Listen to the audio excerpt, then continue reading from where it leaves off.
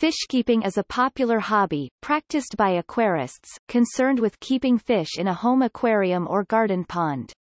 There is also a piscicultural fishkeeping industry, as a branch of agriculture.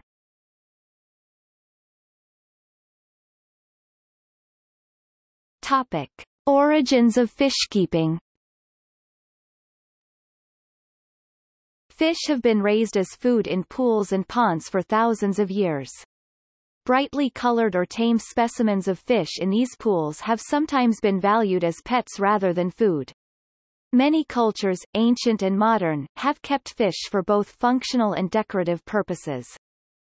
Ancient Sumerians kept wild-caught fish in ponds, before preparing them for meals. Depictions of the sacred fish of Oxyrhynchus kept in captivity in rectangular temple pools have been found in ancient Egyptian art. Similarly, Asia has experienced a long history of stocking rice paddies with freshwater fish suitable for eating, including various types of catfish and cyprinid. Selective breeding of carp into today's popular and completely domesticated koi and goldfish began over 2,000 years ago in Japan and China, respectively. The Chinese brought goldfish indoors during the Song dynasty to enjoy them in large ceramic vessels. In medieval Europe, carp pools were a standard feature of estates and monasteries, providing an alternative to meat on feast days when meat could not be eaten for religious reasons. Marine fish have been similarly valued for centuries. Wealthy Romans kept lampreys and other fish in salt water pools. Tertullian reports that a Asinius Celer paid 8,000 sesterces for a particularly fine mullet. Cicero reports that the advocate Quintus Hortensius wept when a favored specimen died. Rather cynically, he referred to these ancient fishkeepers as the piscinari, the fish pond owners, or fish breeders. For example when saying that the rich I mean your friends the fish breeders did not disguise their jealousy of me. The first person to breed a tropical fish in Europe was Pierre Carbonnier, who founded one of the oldest public aquaria in Paris in 1850, and bred the first imported Macropodus paradise fish in 1869, and later more species. A pioneer of tropical fish breeding, Carbonnier was awarded the gold medal of the Imperial French Acclimatization Society in 1875 for research and breeding of exotic freshwater aquarium fish, and for his success in introducing exotic fish species to France.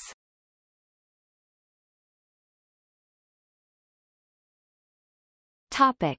Types of fish-keeping systems Fishkeepers are often known as aquarists, since many of them are not solely interested in keeping fish. The hobby can be broadly divided into three specific disciplines, depending on the type of water the fish originate from, freshwater, brackish, and marine also called saltwater fishkeeping.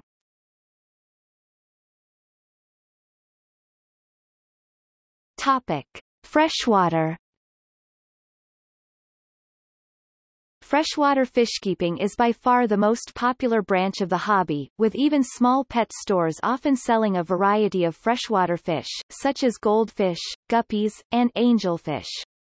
While most freshwater aquaria are community tanks containing a variety of compatible species, single-species breeding aquaria are also popular.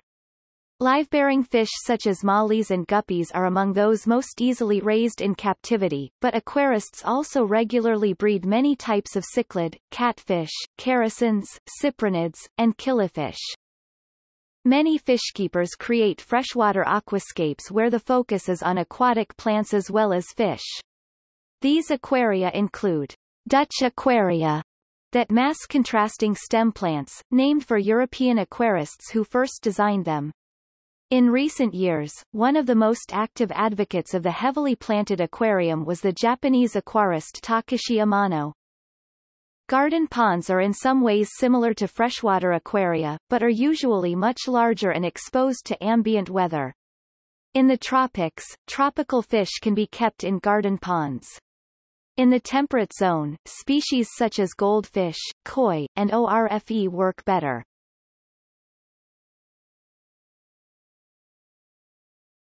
Topic: Saltwater. Marine aquaria have more specific needs and requirements to maintain, and the livestock is generally more expensive. As a result, this branch tends to attract more experienced fishkeepers. Marine aquaria can be exceedingly beautiful, due to the attractive colors and shapes of the corals and the coral reef fish they host. Temperate zone marine fish are not as commonly kept in home aquaria, primarily because they do not thrive at room temperature. Coldwater aquaria must provide cooler temperature via a cool room such as an unheated basement or using a refrigeration device known as a chiller. Marine aquarists often attempt to recreate a coral reef in their aquaria using large quantities of living rock, porous calcareous rocks encrusted with coralline algae, sponges, worms, and other small marine organisms. Larger corals, as well as shrimps, crabs, echinoderms, and mollusks are added later on, once the aquarium has matured, as well as a variety of small fish. Such aquaria are sometimes called reef tanks. Topic. Brackish water Brackish water aquaria combine elements of the other types, with salinity that must stay between that of freshwater and seawater. Brackish water fish come from habitats with varying salinity, such as mangroves and estuaries, and do not thrive if kept permanently in freshwater. Although brackish water aquaria are not necessarily familiar to inexperienced aquarists, many species prefer brackish water, including some mollies, many gobies, some pufferfish, monos, and scats.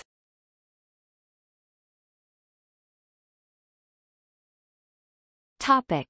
Aquarium maintenance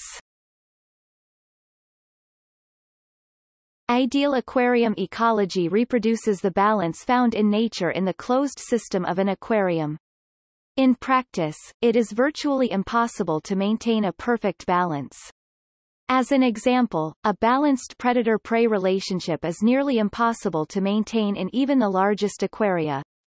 Typically, an aquarium keeper must actively maintain balance in the small ecosystems that aquaria provide. Balance is facilitated by larger volumes of water which dilute the effects of a systemic shock. For example, the death of the only fish in a 10-liter (2.2 imp gal, 2.6 US gal) tank causes dramatic changes in the system, while the death of that same fish in a 400-liter (88 imp gal, 110 US gal) tank that holds many fish may create only a minor imbalance. For this reason, hobbyists often favor larger tanks whenever possible, as they require less intensive attention. This same concept extends to the filtration system as well, external outside of the tank systems in particular. Generally speaking, the larger the filtration system depending on its configuration, the more capable it will be of properly maintaining an aquatic environment. External filtration systems provide the added benefit of increasing the overall volume of water and its dilution effect. For example, a 190-liter 42 imp gal, 50 US gal aquarium with an external filter that holds 40 liters 8.8 imp gal, 11 US gal creates a 230-liter 51 imp gal, 61 US gal aquatic system, an increase of over 20%. A variety of nutrient cycles is important in the aquarium. Dissolved oxygen enters at the surface water-air interface through agitation or what would be observed as waves in a natural environment, and carbon dioxide escapes into the air. The phosphate cycle is an important, although often overlooked, nutrient cycle. Sulfur, iron, and micronutrients enter the system as food and exit as waste. Appropriate handling of the nitrogen cycle, along with a balanced food supply and consideration of biological loading, is usually enough to keep these nutrient cycles in adequate equilibrium.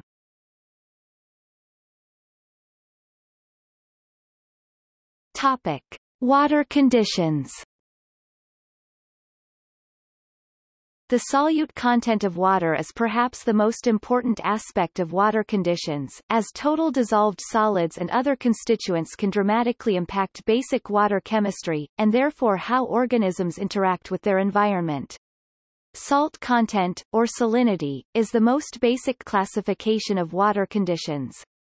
An aquarium may have freshwater salinity below 0.5 ppt, simulating a lake or river environment, brackish water a salt level of 0.5 to 30 ppt, simulating environments lying between fresh and salt, such as estuaries, and salt water or seawater a salt level of 30 to 40 ppt, simulating an ocean or sea environment. Even higher salt concentrations are maintained in specialized tanks for raising brine organisms. Several other water characteristics result from dissolved materials in the water and are important to the proper simulation of natural environments. Saltwater is typically alkaline, while the pH of fresh water varies. Hardness measures overall dissolved mineral content, hard or soft water may be preferred. Hard water is usually alkaline, while soft water is usually neutral to acidic. Dissolved organic content and dissolved gases content are also important factors. Home aquarists typically use modified tap water supplied through their local water supply network. Because of the chlorine used to disinfect drinking water supplies for human consumption, tap water cannot be immediately used. In the past, it was possible to Condition the water by simply letting the water stand for a day or two, which allows the chlorine to dissipate. However, chloramine became popular in water treatment because it stays longer in the water. Additives are available to remove chlorine or chloramine and suffice to make the water ready. Brackish or saltwater aquaria require the addition of a mixture of salts and other minerals. More sophisticated aquarists may modify the water's alkalinity, hardness, or dissolved content of organics and gases. This can be accomplished by additives such as sodium bicarbonate to raise pH. Some aquarists filter or purify their water using one of two processes, deionization or reverse osmosis. In contrast, public aquaria with large water needs often locate themselves near a natural water source such as a river, lake, or ocean in order to have easy access to water that requires only minimal treatment. Water temperature forms the basis of one of the two most basic aquarium classifications, tropical versus cold water. Most fish and plant species tolerate only a limited range of water temperatures. Tropical or warm water aquaria maintain an average temperature of about 25 degrees Celsius 77 degrees Fahrenheit are much more common, and tropical fish are among the most popular aquarium denizens. Cold water aquaria maintain temperatures below the room temperature. More important than the range is temperature consistency. Most organisms are not accustomed to sudden changes in temperatures, which can cause shock and lead to disease. Water temperature can be regulated with a combined thermometer and heating or cooling unit. Water movement can also be important in accurately simulating a natural ecosystem. Fish may prefer anything from nearly still water up to swift, simulated currents. Water movement can be controlled through the use of aeration from air pumps, powerhead pumps, and careful design of water flow such as the location of filtration system points of inflow and outflow.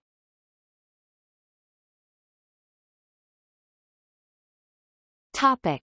Nitrogen cycle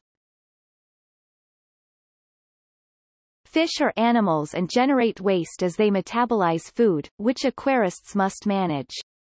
Fish, invertebrates, fungi, and some bacteria excrete nitrogen in the form of ammonia which converts to ammonium in acidic water, and must then pass through the nitrogen cycle. Ammonia is also produced through the decomposition of plant and animal matter, including fecal matter and other detritus.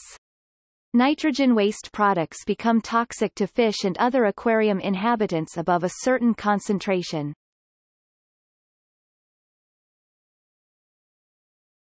Topic. The process A well-balanced tank contains organisms that metabolize the waste products of other inhabitants. Nitrogen waste is metabolized in aquaria by a type of bacteria known as nitrifiers genus Nitrosomonas. Nitrifying bacteria metabolize ammonia into nitrite. Nitrite is also highly toxic to fish in low concentrations. Another type of bacteria, genus Nitrospira, on converts nitrite into less toxic nitrate. Nitrobacter bacteria were previously believed to fill this role, and appear in jump start kits. While biologically they could theoretically fill the same niche as Nitrospira, it has recently been found that Nitrobacter are not present in detectable levels in established aquaria, while Nitrospira is plentiful.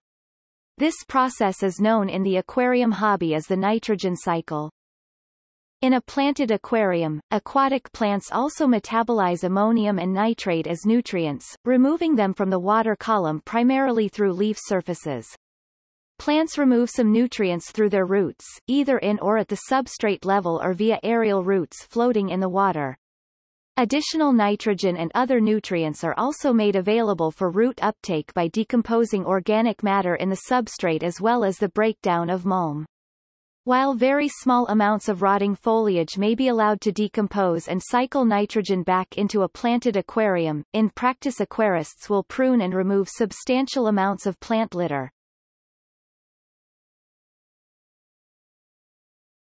Topic. Maintaining the nitrogen cycle Although called the nitrogen cycle by hobbyists, in aquaria the cycle is not complete, nitrogen must be added usually indirectly through food and nitrates must be removed at the end. Nitrogen bound up in plant matter is removed when the plant grows too large. Hobbyist aquaria typically do not have the requisite bacteria needed to detoxify nitrogen waste. This problem is most often addressed through filtration. Activated carbon filters absorb nitrogen compounds and other toxins from the water. Biological filters provide a medium specially designed for colonization by the desired nitrifying bacteria. Activated carbon and other substances, such as ammonia-absorbing resins, stop working when their pores fill, so these components have to be replaced with fresh stocks periodically. New aquaria often have problems associated with the nitrogen cycle due to insufficient beneficial bacteria, which is known as new tank syndrome. Therefore, new tanks have to mature before stocking them with fish. There are three basic approaches to this, the fishless cycle, the silent cycle, and slow growth. Tanks undergoing a fishless cycle have no fish. Instead, the keeper adds ammonia to feed the bacteria. During this process, ammonia, nitrite, and nitrate levels measure progress. The silent cycle involves adding fast-growing plants and relying on them to consume the nitrogen, filling in for the bacteria work until their number increases. Anecdotal reports indicate that such plants can consume nitrogenous waste so efficiently that the ammonia and nitrite spikes that occur in more traditional cycling methods are greatly reduced or undetectable. Slow growth entails slowly increasing the fish population over 6 to 8 weeks, giving bacteria time to grow and reach a balance with the increasing waste production, adding too many fish too quickly or failing to allow enough time for the bacteria colony to establish itself in the filter media can lead to ammonia stress. This is not always fatal but can result in the death of aquarium fish. A few days after adding hardy fish for the cycling process, it is essential to look out for the key signs of ammonia stress. These include a lack of movement and appetite, inflammation and redness of the gills, fins, and body, and occasionally gasping for air at the water's surface.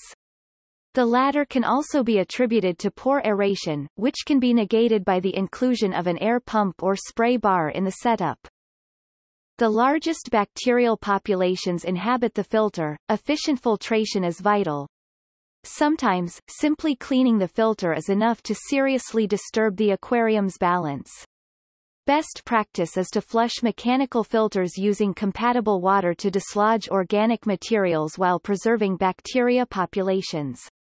Another safe practice involves cleaning only one half of the filter media every time the filter or filters are serviced to allow the remaining bacteria to repopulate the cleaned half.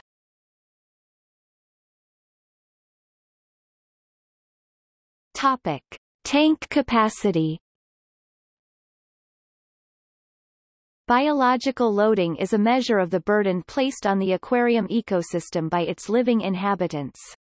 Higher biological loading represents a more complicated ecology, which makes equilibrium easier to imbalance. The surface area of water exposed to air limits dissolved oxygen. The population of nitrifying bacteria is limited by the available physical space which includes all surfaces in the aquarium such as the inner-facing sides and the surface of rock substrate and any objects such as large rocks or pieces of wood.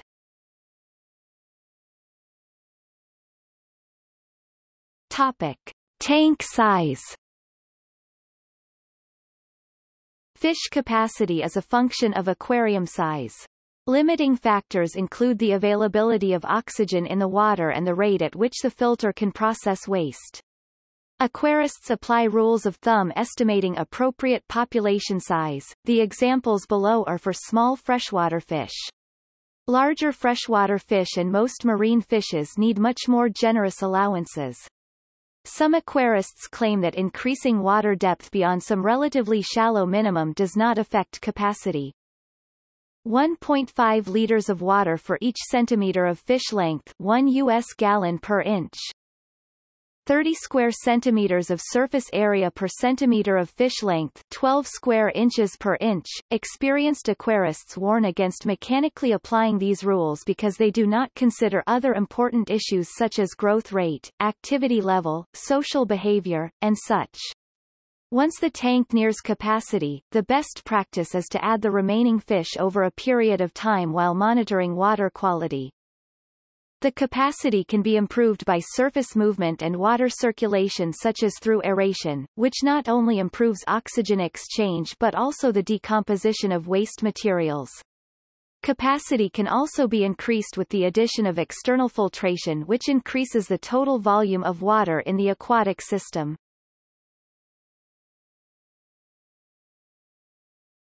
Topic. Other factors Other variables affect tank capacity. Smaller fish consume more oxygen per unit of body weight than larger fish. Labyrinth fish can breathe atmospheric oxygen and need less surface area however, some are territorial, and do not tolerate crowding. Barbs require more surface area than tetras of comparable size.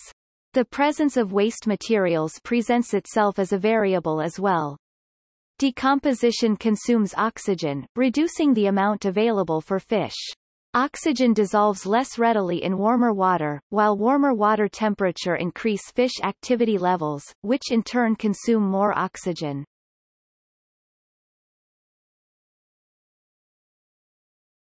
Topic. Fish-keeping industry Worldwide, the fish-keeping hobby is a multi-billion dollar industry. The United States is the largest market, followed by Europe and Japan. In 1993 the United States Census Bureau found that 10.6% of U.S. households owned ornamental freshwater or saltwater fish, with an average of 8.8 fish per household. In 2002, census data indicated that aquarium products and fishing accounted for 684 million United States dollars.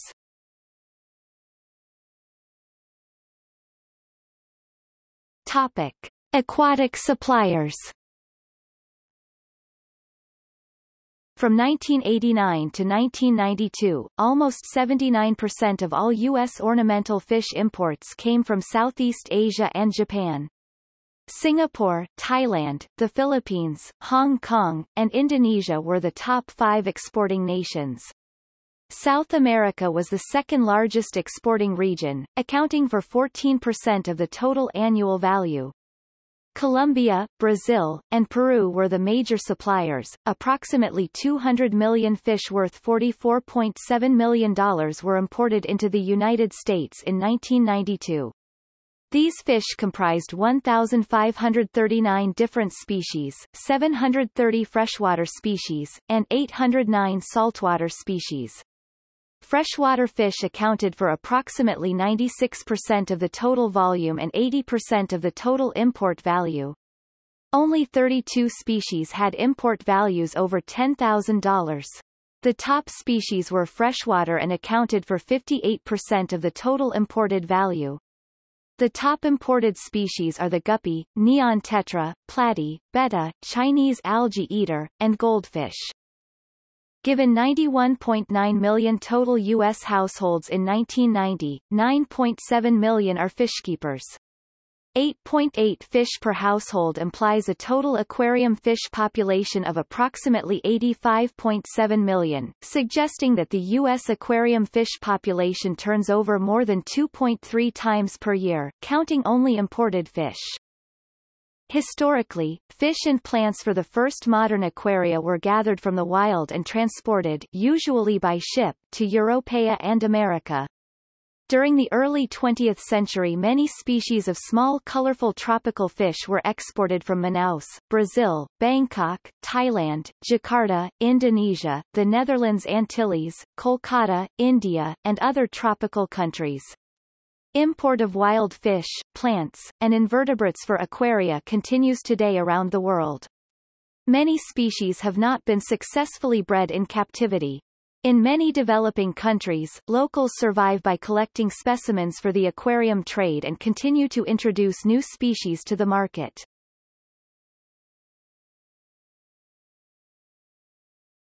Topic. Animal welfare Fish are sometimes maintained in inadequate conditions by inexperienced aquarists who often keep too many fish in one tank, or add fish too quickly into an immature aquarium, killing many of them. This has given the hobby a bad reputation among some animal welfare groups, such as PETA, who accuse aquarists of treating aquarium fish as cheap toys to be replaced when they die. Goldfish and bettas, in particular, have often been kept in small bowls or aquaria that are too small for their needs. In some cases, fish have been installed in all sorts of inappropriate objects such as the Aquababies Micro Aquaria, Bubble Gear Bubble Bag, and betta in a vase, all of which house live fish in unfiltered and insufficient water. The latter is sometimes marketed as a complete ecosystem because a plant is included in the neck of the vase. Some sellers claim the fish eat the plant roots. However, bettas are carnivorous and need live food or pellet foods. They cannot survive on plant roots. Another problem is that the plant sometimes blocks the betta's passage to the water surface. They are labyrinth fish and need to breathe at the surface to avoid suffocation. Such products are aimed at people looking for a novelty gift. Aquarists actively condemn them. Similarly, the awarding of goldfish as prizes at funfairs is traditional in many parts of the world but has been criticized by aquarists and activists as cruel and irresponsible. The United Kingdom outlawed live animal prizes such as goldfish in 2004. The use of live prey to feed carnivorous fish such as piranhas also draws criticism. Fish modification Modifying fish to make them more attractive as pets is increasingly controversial. Historically, artificially dyeing fish was common. Glassfish, in particular, were often injected with fluorescent dyes. The British fishkeeping magazine, Practical Fishkeeping, has campaigned to remove these fish from the market by educating retailers and aquarists to the cruelty and health risks involved. In 2006, Practical Fishkeeping published an article exposing the techniques for performing cosmetic surgery on aquarium fish, without anesthesia, as described by Singaporean fishkeeping magazine Fish Love magazine. The tail is cut off and dye is injected into the body. The piece also included the first documented evidence to demonstrate that parrot cichlids are injected with colored dye. Hong Kong suppliers were offering a service in which fish could be tattooed with company logos or messages using a dye laser. Such fishes have been sold in the UK under the name of kaleidoscope gourami and striped parrot cichlid. Some people give their fish body piercings. Hybrid fish such as flowerhorn cichlids and blood parrot cichlids are controversial. Blood parrot cichlids in particular have a very unnatural shape that prevents them from swimming properly and makes it difficult for them to engage in normal feeding and social behaviors. The biggest concern with hybrids is that they may be bred with native species, making it difficult for hobbyists to identify and breed particular species. This is especially important to hobbyists who shelter species that are rare or extinct in the wild. Extreme mutations have been selected for by some breeders. Some fancy goldfish varieties in particular have features that prevent the fish from swimming, seeing, or feeding properly. Genetically modified fish such as the glowfish are likely to become increasingly available, particularly in the United States and Asia. Although glowfish are unharmed by their genetic modifications, they remain illegal in many places, including the European Union, though at least some have been smuggled into the EU, most likely from Taiwan, via the Czech Republic.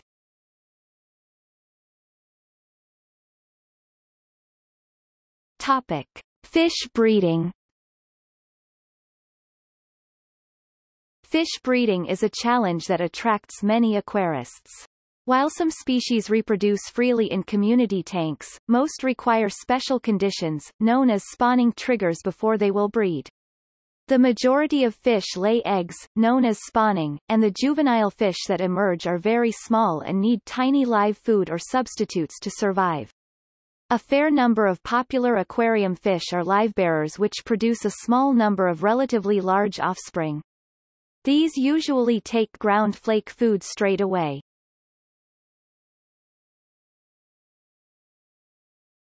Topic. Conservation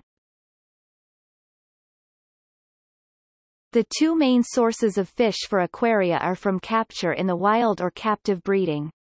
United Nations studies show that more than 90% of freshwater aquarium fish are captive bred, while virtually all marine fish and invertebrates are wild caught. The few marine species bred in captivity supplement but rarely replace the trade in wild-caught specimens.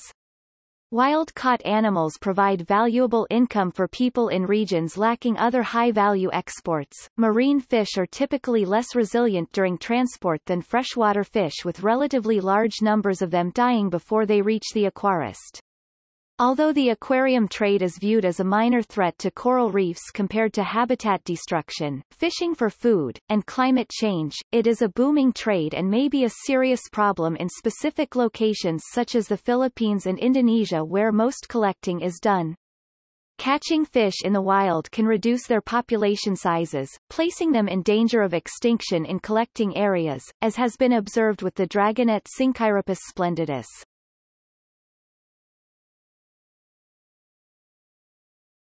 Topic. Collecting In theory, reef fish should be a good example of a renewable resource that encourages fishermen to maintain the integrity and diversity of the natural habitat. More and better fish can be exported from pristine habitats than those that have been polluted or over-harvested. However, this has not been the case in similar industries such as fur trapping, logging, or fishing that experience the tragedy of the commons. Fish are caught by net, trap, or cyanide. Collecting expeditions can be lengthy and costly, and are not always successful. Fish can also be injured during collection and or shipping. Mortality rates during shipping are high, Many others are weakened by stress and become diseased. Other problems include the poisoning of coral reefs and non-target species, the depletion of rare species from their natural habitat, and ecosystem degradation from large-scale removal of key species. Additionally, destructive fishing techniques concern environmentalists and hobbyists alike. There has been a concerted movement to captive breeding and certification programs for wild-caught fish. Two-thirds of American marine aquarists surveyed in 1997 preferred farmed coral and over 80% think that only sustainably caught or farmed fish should be traded. Annually, 30 million fish from over 1,400 species are traded, with approximately 16 million imported into the United States. This trade has an estimated global value of over $800 million in 2002.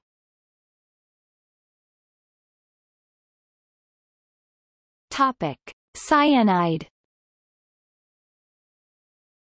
Cyanide is a poison that stuns and immobilizes fish.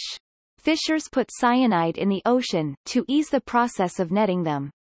It can irreversibly damage or kill the target fish, as well as other fish, mammals, reptiles or invertebrates that are left behind. Some wholesalers advertise that they avoid cyanide-caught animals. In the Philippines, overfishing and cyanide caused a drastic decline in aquarium fish, leading the country away from cyanide and towards netting healthy animals.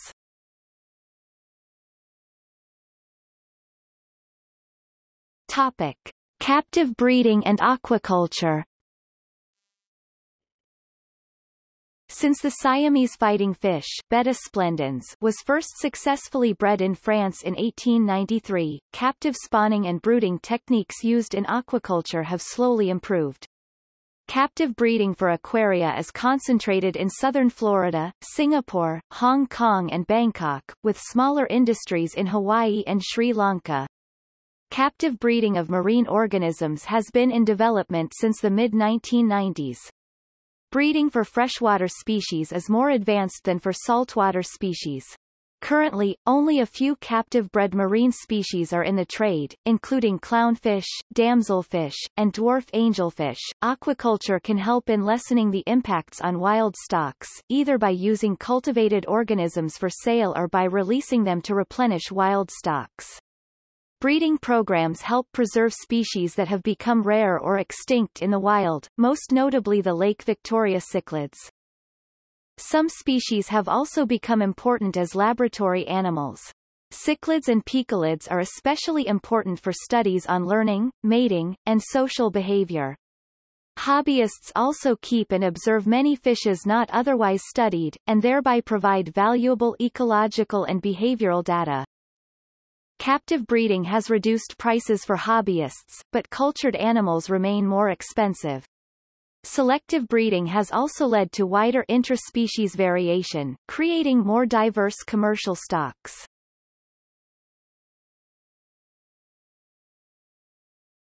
Topic. Invasive species Serious problems can occur when fish originally raised in ponds or aquaria are released into the wild. While tropical fish do not survive in temperate climates, they can thrive in waters that are similar to their native habitat. Non-native species that become established are called exotic species. Freshwater examples include various cichlids in Florida, goldfish in temperate waters, and South American suckermouth catfishes in warm waters around the world. Invasive species can seriously disrupt their new homes by preying on, or competing with, native species. Many marine fish have also been introduced into non-native waters, disrupting the local habitat.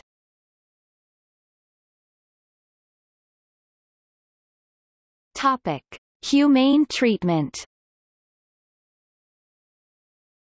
In January 2011 the Maui County Council passed a measure requiring aquarium fisheries to adopt humane practices for preparing fish for transport to market. The regulations control harvesting and shipping practices, including prohibiting clipping the fins on fish to protect the plastic shipping bags, outlawing puncturing swim bladders that fish use to regulate their buoyancy, which enabled divers to rapidly surface and prohibiting starving the fish which permitted smaller shipping bags without killing the fish with their own waste. The measure also requires that shippers file mortality reports on the animals they ship.